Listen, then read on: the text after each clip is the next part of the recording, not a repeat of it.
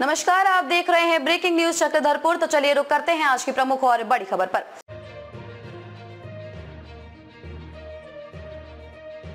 Bharatiya Janata party महिला मोर्चा की बैठक, जिला अध्यक्ष श्रीमती दुर्गावती बोईपाई की अध्यक्षता में हुई। भाजपा प्रत्याशी गीता कोड़ा की जीत के लिए बनी रणनीति।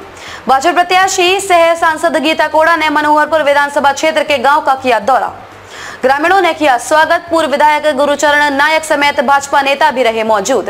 गोईकेरा प्रखंड के दलाई केला गाँव में आयोजित श्री हरि संकीर्तन में पहुँची सांसद गीता कोड़ा अब खबर विस्तार से।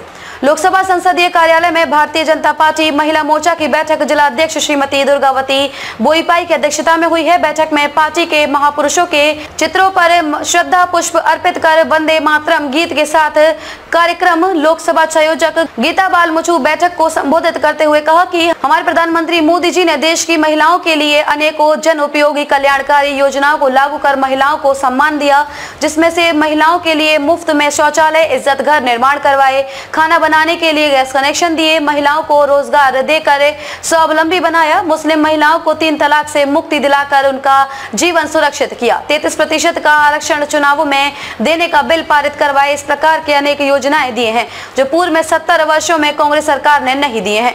बैठक में कोल्हान प्रभारी सुमन गागरई, जिला परिषद सदस्य ज्योति मेराल, पूर्व जिला परिषद सदस्य सुशीला पूर्ति, नगर परिषद की पूर्व चेयरपर्सन नीला नाग, पूर्व जिला अध्यक्ष सुकमती बिरुवा, ललिता कोड़ा, लक्ष्मी पिंगवा, मीना महतो, देवी मेहत्रा हेमंती विश्वकर्मा, मधुलिका कुमारी, विनोदिनी, बानरा सहित कार्य समिति के सदस्य सभी मंडल अध्यक्ष शामिल हुए।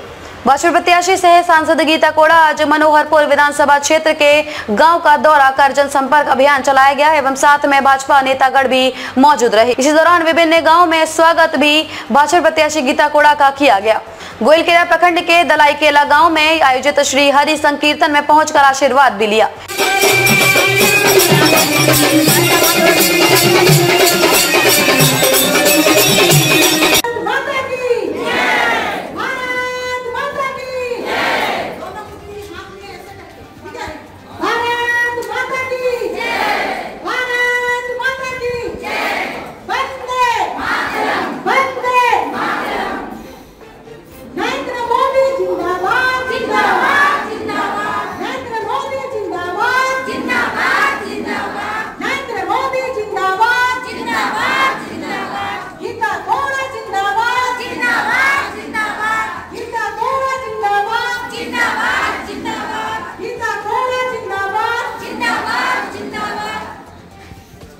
खबरों में अब तक के लिए बस इतना ही। फिर होगी आपसे मुलाकात ऐसी ही किसी बड़ी और खास खबर के साथ।